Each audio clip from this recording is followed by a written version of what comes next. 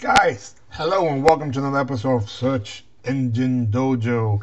Now, in this case here, we're looking for um, potential clients, and this potential client here or industry is um, a potential client is Kimberly Thomas. I'm not really looking to make a client, to be honest with you. I'm just going to prove that um, when it comes to a competitive market like real estate realtors that are going through hell, you know, this lady here will be the poster girl to what we can do for her. Um, quite a few things here. We'll copy and paste this information here and I'll make a video and um, yeah, pretty much it. Okay, so case study number one um, for real estate, Kimberly Thomas.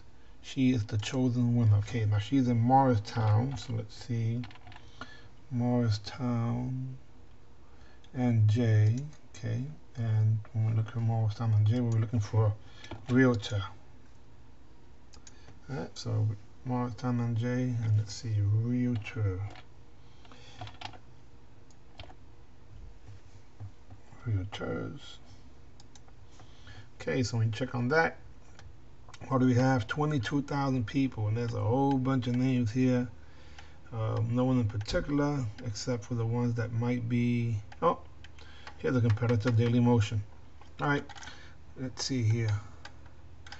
So this is what you see New Jersey realtors, and you see that's 22,000. I would think that Kimberly's nowhere in sight. Then I'll go check over here.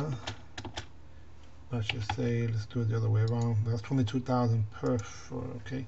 So now when we check the other way around, realtors is 25,000. So that's a little more competitive. Realtors.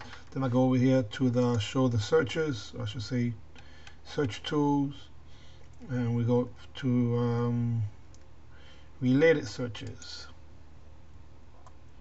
So these are the surrounding names or places or competitive names. So realtors and then you have the actual um, okay so Morristown is also part of Morris County. So let's click on Morris County.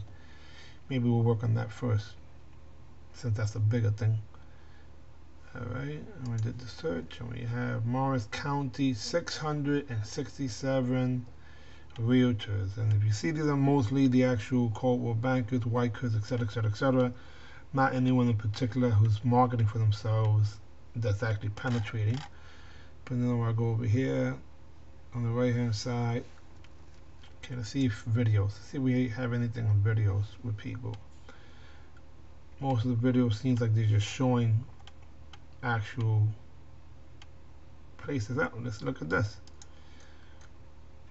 See, the movers and shakers are always going to actually separate themselves from the amateurs by putting together quality content. In this case here, you got bobshome.net, and I'm not sure where this is at. Oh boy. Pretty funny. Morning, neighbor. You deserve a better view? There's never been a better time to get the house you want. Get the real story. Cool. Now if I click on this, this will actually go over to his website. In 973. So Bob, I don't know, he, he must be a mover and shaker because normally people don't invest in themselves unless they either have money. But you know, this market is so so scary because they don't, you know, Bob's listed. Oh, he's a prudential. Morris County. Whoa. So the guy again, he, he's, he's investing himself. All right, let's see what we can do here for um, the young lady that I just happened to pick. Here we go. This is some of the information that I captured from her actual web. I mean, um, from her profile. And this is another guy who actually is part of that market. So this is case study video number one, and we'll see what happens in video number two. Yeah, then how about real estate agent Morristown? That might work also. And you know this is a competitive market because all these links. See these links here? These are people and companies, I should say, who want to get ranked and be on the front page of Google for this. All right, guys, Search Engine Dojo. You know we're going to kick their rear with this. Peace.